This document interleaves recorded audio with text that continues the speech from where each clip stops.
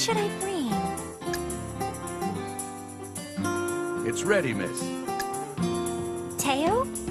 What is? We've finally come up with a plan for repairing the ship. Really? But it seems we need more material than previously expected. You mean stuff we didn't ask the Union for? Unfortunately, we only requested the minimum amount. I see. Well, tell me what I need and I'll go get it. That isn't necessary. I can ask Kortes to take care of it. No, it's okay. I want to work hard and earn recognition. If I don't, we won't be able to save the village.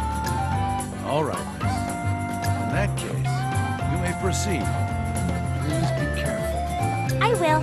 I just need to get you the materials, right? Yes,